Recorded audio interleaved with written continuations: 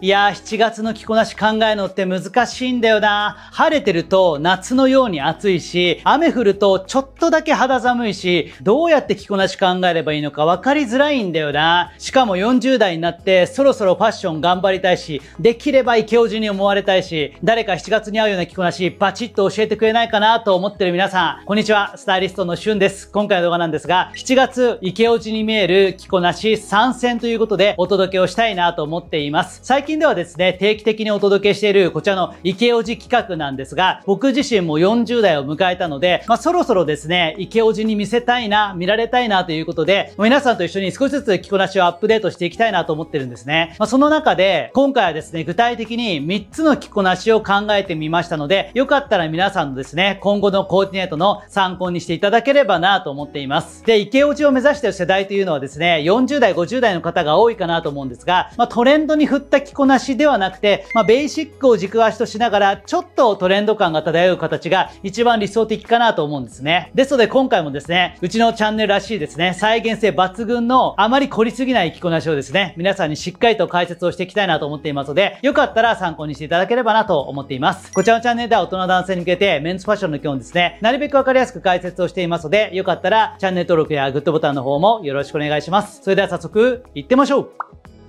はい、ということで、ここからですね、具体的に池オジを目指すための7月コーデ、皆さんにご紹介したいなと思ってるんですが、まず一つ目の着こなしなんですけども、こちらですね、半袖シャツを使ったコーディネートから皆さんに解説をしていきたいなと思っています。僕もですね、このような7月なんかにはですね、一番よく着るのが半袖シャツかなと思ってるんですね。というのも、真夏になるとですね、やっぱり暑すぎて、半袖の T シャツがメインになることが多いんですが、この7月ぐらいであれば、ちょちょっと蒸し暑くはあるんだけども、T シャツの上に半袖シャツを着るぐらいの着こなしが、まあ、一番ハマりやすいので、よく使うようにしてるんですね。なので、半袖シャツはいろんなバリエーションを持ってるんですが、まず一つ目はですね、こちら、色はですね、ちょっとこう、シャンブレーのグレーということで、モノトーンで収まるので、なかなかシャープな見た目になるかなと思うんですね。襟元がふんわりと立ち上がるようなキャンプカラーというですね、襟型を採用しているこちらのシャツですね。まあ、僕のとこで作っているオリジナルのものなんですが、こういったグレー系のシャツで大人っぽく今回はまとめてみました。今年はいろんなブランドから半袖シャツ出ていますが、こういった胸のポケットですね、蓋付きでちょっとこう、アウターっぽく着れるようなものが増えてますので、まあ、ぜひ皆さんもですね、いろんなお店でこういったシャツ見ていただきたいなと思います。カラーバリエーションも結構豊富で、僕はですね、ブルー系なんかの爽やかな感じも好きだし、ちょっとこう、個人的にはですね、シャープに見えるようなこういったグレー系の色なんかが好きなので、今回はこちらを一番最初に着てみました。下にはですね、相変わらず白 T をちょっとだけ覗かせる形で配置をしています。で、ボトムスに関してはですね、今回モノトーンで収めたかったので、ブラックでいつも通りまとめています。まあ、シルエットは太すぎず細すぎずのもので合わせるとバランスがいいのかなと思います。で、足元なんですが、今回はグルカサンダルを履いています。まあ、このような形で、ブラックのパンツに黒い靴だと重たいんですけども、グルカサンダルは肌が見えるので、ちょっとだけ軽快な感じがするんですね。なので、このような形で黒パンにはですね、サンダルを合わせるような形で少し軽快な感じを出しています。割と使っている色自体がシンプルですよね。白、グレー、黒という形で、モノトーンですごく簡単なので、皆さんも再現しやすいかなと思います。着こなしはベーシックではあるんだけども、シャツのディティールとしてこういったポケットが付いてたりだとか、あとはサイズ感ですね。ほんの少しだけ緩さを出すことで、定番的な着こなしの中にもほんのり今っぽさが漂うかなと思うので、よかったら7月のコーディネートとして一つ参考にしていただければなと思っています。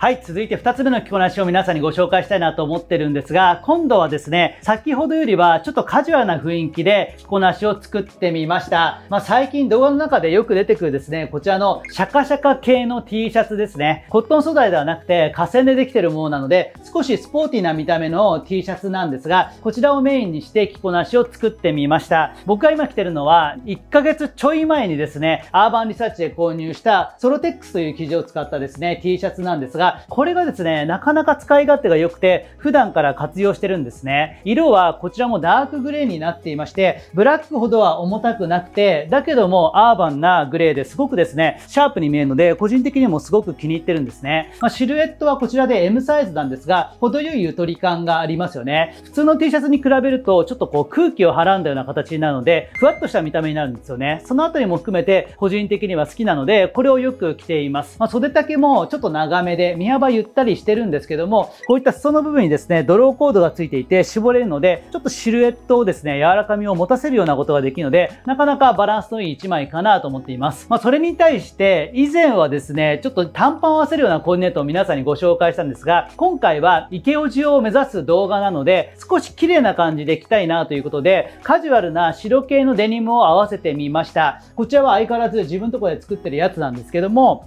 少し緩さのあるベイカーパンツのデザインをベースにした白デニムで、短パンに比べると、やっぱりちょっと小綺麗な印象にもなるかなと思うので、T シャツが持つカジュアルさを程よく中和してくれてるかなと思います。ダークグレーとホワイトという色自体もしっかりとですね、色の差がつくので、明るさも出ますし、割とバランスがよくはまる色の組み合わせなので、よかったら皆さんもトライしていただきたいなと思っています。で、足元なんですが、まあ、今回も軽快にサンダルをですね、履いています。先ほどはシャツというアイテムを合わせていたので、それに対してのサンダルはレザー系のですね、グルカサンダルを合わせました。まあ、シャツとちょっと雰囲気合わせるような形ですね。まあ、今回はちょっとスポーティーな雰囲気なので、サンダルもややスポーティーなものにしました。これちょっとなかなか見えづらくはあるんですが、スイコックというブランドのですね、サンダルになります。少しこうボリューミーなソールになっていまして、全体的にブラックなんですが、部分的にですね、こういったシルバーのパーツが使われていて、割とですね、シャープに見えるので、個人的に今季ですね、めちゃくちゃ買ってよかったアイテムの一つかなと思っています。まあ、スポーティーなサンダルではあるんですですけども、色がシックで、なおかつシルバーパーツのおかげで、シャープさも出るということで、結構大人世代には使いやすいサンダルになってるかなと思います。あとはいつも通りですね、基本装備として時計だとかバングルだとかをつけながら、ちょっとこう物足りなさをですね、埋めてあげるといいかなと思います。まあ、それに加えて、メガネですね。この辺りの小物もですね、実際に目が僕は悪いわけではないんですが、ちょっとうっすらカラーレンズを入れて、日差しを避けるためにもですね、使っているんですけども、これまた顔前の一つのアクセントになるかなと思うので、まあ、一つの参考になればなと思っています。まあ、このようなですね、旬なシャカシャカ T シャツも短パンとかを使ってカジュアルにするのではなくて、白パンなんかでまとめてあげるのも意外と使いやすい着こなしなので、よかったら参考にしていただければなと思っています。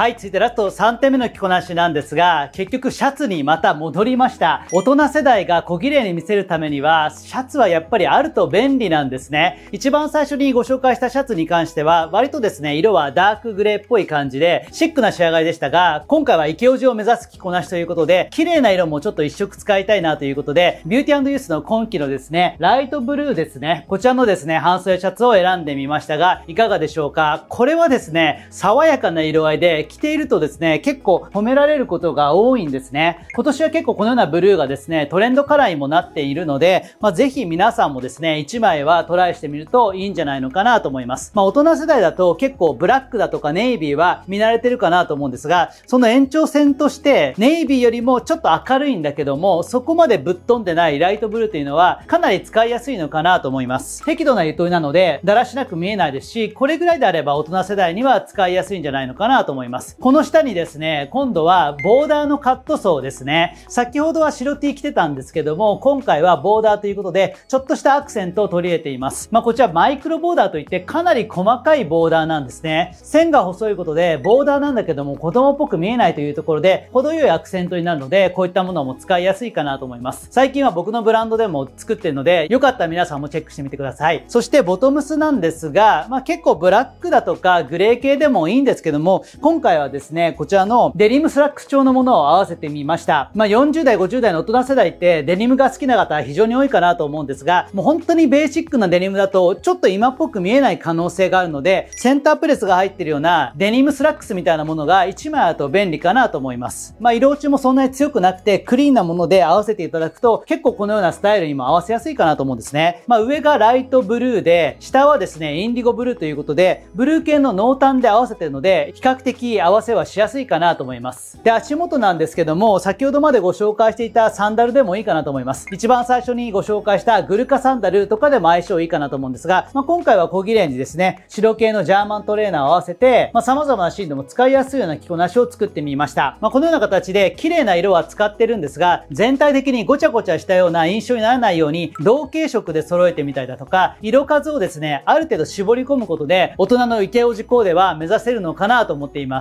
僕の中でやっぱりイケオジというのは、綺麗な色を使うのが上手という印象があるので、ライトブルーという色っていうのは結構使いやすいので、まずは皆さんもこの辺りからトライをしていただければなと思っています。